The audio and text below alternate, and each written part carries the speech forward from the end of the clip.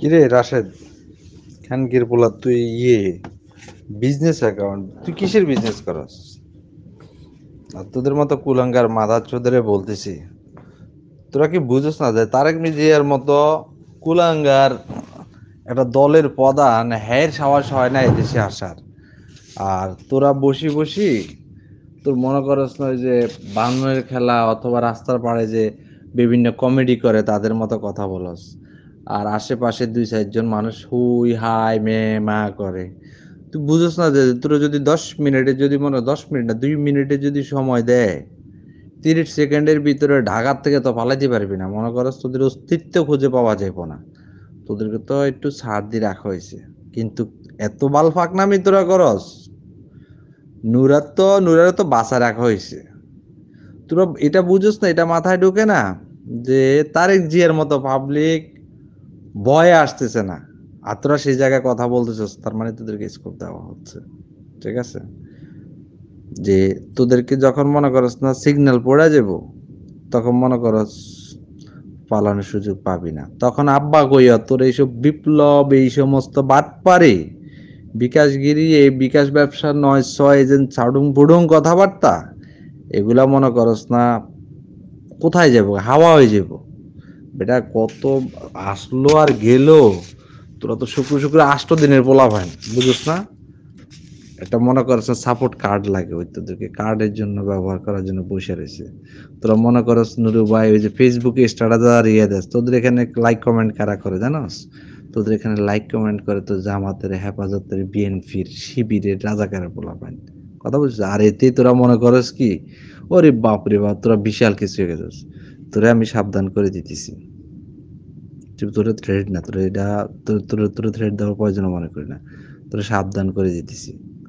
ঠিক আছে, পড়ালেখা করছ ইউনিভার্সিটিতে ভালো ছেলে, ছেলের মতোই থাক, নিজে কিছু কাজকর্ম করে, খাওয়ার চিন্তা কর, ওই মনে করে যে নুরার পিছনে ঘুরা বাটপারি কইরা মর কিছু হইবা, জাতীয় নেতা হইবা, বহুত মনে করেন স্বপ্ন দেখতেছ।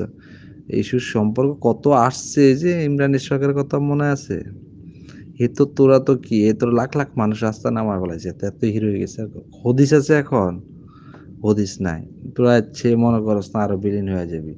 যা শুধু সামনে ট্রামটা। ট্রামটা পার হবে। নৌরা, ওই যে তোর মনে করস না স্ক্রাব মিসক্রাব যা আছে এগুলা দিয়া এই জন্যে। সো বি কেয়ারফুল কথাবার্তা একটু লিমিটে বলিস। এত বেশি লিমিট করিস না, যেন পরে মনে হচ্ছে ফিট যেন না বাঁচাতে পারস। সাবধান। রাশেদ ভাই কে সেই ব্যক্তি যে আপনাকে ফোনে এভাবে হুমকি দিল? এরকম হুমকি আসলে প্রায় আমার মোবাইলে এবং হোয়াটসঅ্যাপে, মেসেঞ্জারে অনেকে দিয়ে থাকে। অনেকে আবার প্রাণ নাশের হুমকিও দেয়। তো আমি আজকে খুবই বিব্রত এবং খুবই আসলে মানে আতঙ্কগ্রস্ত হলাম যে আমার হোয়াটসঅ্যাপে একজন আমাকে এভাবে হুমকি দিল এবং সেখানে বিশেষ করে আমরা এই বর্তমানে যে ধরনের অন্যায় অবিচার হচ্ছে, এর বিরুদ্ধে যখন আমরা সচ্চার, এই সচ্চার হওয়ার কারণে মূলত এই ধরনের হুমকি আজকে দিয়েছে। তো যিনি হুমকি দিয়েছেন, আমি তার এখান থেকে যে হোয়াটসঅ্যাপ নাম্বার থেকে হুমকি দিয়েছে, সেইখানে তার নামটা লেখা হোসেন বেলায়েত এবং তার একটি ছবিও এখানে রয়েছে এবং একটি বিদেশি নাম্বার। নাম্বারটি plus nine seven one five zero five zero four two four eight zero এই নাম্বার থেকে মূলত আমাকে হুমকি দেওয়া হয়েছে এবং নানান ধরনের কথাবার্তা বলেছে এবং বলেছে যে সময় সুযোগ আসলে আমাদের দেখে নিবে, এই ধরনের কথাবার্তা বলেছে। আমার মনে হয় যে এটি যদি তদন্ত করে সরকারের পক্ষ থেকে বা আইন শৃঙ্খলা রক্ষাকারী বাহিনীর পক্ষ থেকে, সাংবাদিকদের কাছ থেকে তথ্য নিয়ে, যেহেতু আপনি একজন সাংবাদিক, আপনার কাছ থেকেও বিস্তারিত তথ্য উপত্য চাইলে আইন শৃঙ্খলা রক্ষাকারী বাহিনী বা অন্যান্য সাংবাদিকরা সংগ্রহ করতে পারে। এবং আমি যেহেতু একজন রাজনীতিবিদ এবং একজন বলা যায় যে বাংলাদেশের পরিচিত একজন মুখ কোটা সংস্কার আন্দোলনের নেতৃত্ব দিয়েছি। বাংলাদেশের মানুষ আমাকে চিনে, ভালোবাসে।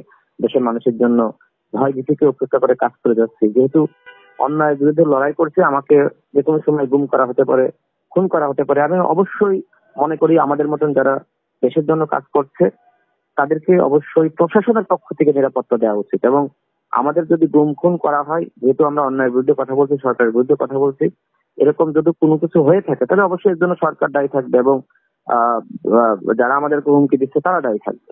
আমরা অবশ্যই আইন শৃঙ্খলা রক্ষাকারী বাহিনী এবং প্রশাসনের কাছে সরকারের কাছে আমরা নিরাপত্তার দাবিদার। আচ্ছা এটা কি আপনার পূর্ব শত্রুতার জের ধরে কেউ কি আপনাকে হুমকি দিয়েছে বলে আপনি মনে করছেন?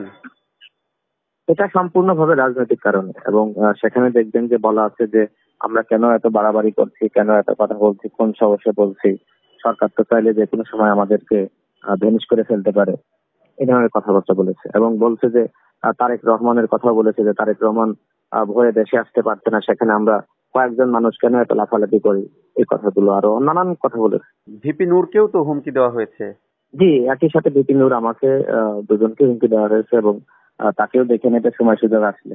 এবং যে কোনো সময় ভ্যানিশ করে ফেলাবে এ ধরনের কথাবার্তা বলছে। আপনি কি এখন নিরাপত্তাহীনতায় ভুগছেন কিনা? অবশ্যই নিরাপত্তাহীনতায় ভুগছি কারণ যেহেতু এভাবে যে হুমকি দিতে পেরেছে সে তো খুনও করতে পারে এবং বাংলাদেশ তো বাংলাদেশ তো এক প্রকার গুম খুনের অভয়ারণ্যে পরিণত হয়েছে। যাকে তাকে গুম করে দেওয়া হচ্ছে যাকে তাকে খুন করে দেওয়া হচ্ছে। আমাদেরও যে গুম খুন করা হবে না সেটি কিন্তু নয়। আমরা গুম খুনের আশঙ্কায় সবসময় থাকি যে আমরা সরকারের অন্যায় অবিচারের বিরুদ্ধে কথা বলছি দুর্ন- দুর্নীতি লুটপাটের বিরুদ্ধে কথা বলছি। এটা সেটা ভালো মানুষের জায়গা নাই। ভালো মানুষ কথা বললে তাকে কণ্ঠরুদ্ধ করার জন্য তাকে তুলে নিয়ে যাওয়া হয়, তাকে গুম করে রাখা হয়, তাকে টর্চার করা হয়। কোটা সংস্কার আন্দোলনের সময় আমাকে পনেরো দিন রিমান্ডে রাখা হয়েছিল এবং আমাকে ধরার সাথে সাথেই আমাকে সাত কেটে হয়ে পিটায় আমাকে সে পিটিয়েছিল এবং আমাকে নির্যাতন করেছিল। এখনও পর্যন্ত যদি আপনি ডিএমপি সিসি ক্যামেরা দেখেন, সেখানে কিন্তু সেই নির্যাতনের চিত্র আছে বলে আমি মনে করি। আমাকে কীভাবে টর্চার করেছিল। তো এটি কি মিথ্যা? আজকে যে মানবাধিকার লঙ্ঘনের অভিযোগ আনছে এটি কি মিথ্যা। আমাকে তো এইভাবে টর্চার করেছে। আমিও তো এখন ব্যথায় ঘুমাতে পারি না। আজকে আমাকেও ঘুমের মধ্যে চিৎকার আত্মচিৎকার করতে হয়। আমাকে মূলত হোয়াটসঅ্যাপে ভয়েস রেকর্ড পাঠানো হয়েছে। হোয়াটসঅ্যাপে তারা ভয়েস রেকর্ড পাঠিয়েছে এবং আহ, আ- আরেকজনও আমি দেখলাম যে কয়েকদিন আগে তিনিও আমাকে এইভাবে হোয়াটসঅ্যাপে হুমকি দিয়েছিলেন। তো প্রায় প্রায় এই ধরনের হুমকি ইদানিং আসতেছে। তো মানে এই মুহূর্তে বিশেষ করে যখন আমরা অন্যায়ের বিরুদ্ধে সচ্ছার আমরা প্রতিবাদ করছি। তখন প্রায় প্রায় বিভিন্ন নামে বেনামে আমাদেরকে হুমকি দেওয়া হচ্ছে। এর আগেও আমার এই নাম্বারে অনর্বত কল দিয়ে হুমকি দেওয়া হতো। এরকম হুমকি তো কিছুদিন পর পরই বেশ জোরালো ভাবেই আমাদেরকে টার্গেট করে নানান ধরনের কথাবার্তা বলা হয়। গুম করা হবে, খুন করা হবে, এরকম এরকম বলা হয়। পরশু দিন আর একটা নাম্বার থেকে আমাকে হুমকি দেওয়া হয়েছিল। সেই নাম্বারটাও যদি আপনাকে বলি, সেটা মালয়েশিয়ার একটা number plus six zero one six three two six two four two zero নিরাপত্তাহীনতায় যত ভুগছেন এখন সরকারের কাছে আপনার দাবিটা কি? আপনি কি করতে চাচ্ছেন আসলে এখন? কি করা উচিত বলে আপনি মনে করছেন এমত অবস্থায়? আমরা তো এর আগে যখন ঢাকা বিশ্ববিদ্যালয়ের মহসিনা হল থেকে আমাদেরকে পিস্তল দিয়ে গুলি গুলি করা গুলি করতে এসেছিল এবং আমাদের মারতে এসেছিল। তখন কিন্তু আমরা ছাত্রলীগের ওই সন্ত্রাসী ক্যাডারদের বিরুদ্ধে আমরা শাহবাগ থানা জিডি করতে গিয়েছিলাম।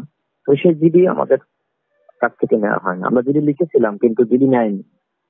তো আমরা এখন কার কাছে আমরা নিরাপত্তা চাইব? আজকে থানায় গেলে আমাদের জিডি নেওয়া হচ্ছে না, মামলা নেওয়া হচ্ছে না।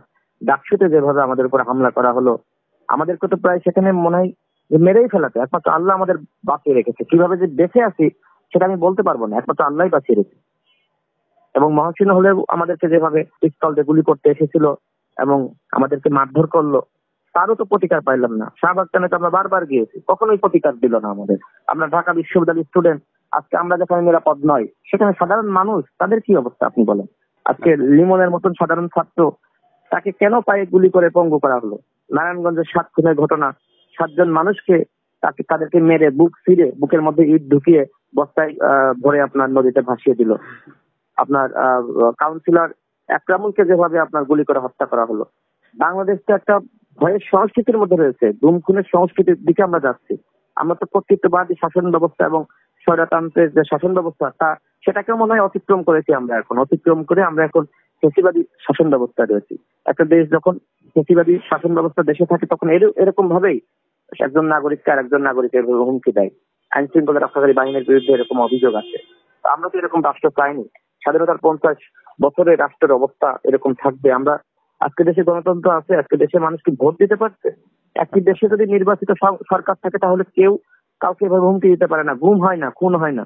আজকে দেশে নির্বাচন না থাকার কারণে, নির্বাচিত সরকার না থাকার কারণে এভাবে রাষ্ট্রে যে যার মতন যাকে খুশি তাকে মারতে ধরছে খুন করতে, গুম করছে যা খুশি তাই হচ্ছে। লুটপাট করছে দেশের টাকা পাচার করছে কানাডার বেগম পাড়ায় বাড়ি গাড়ি করছে।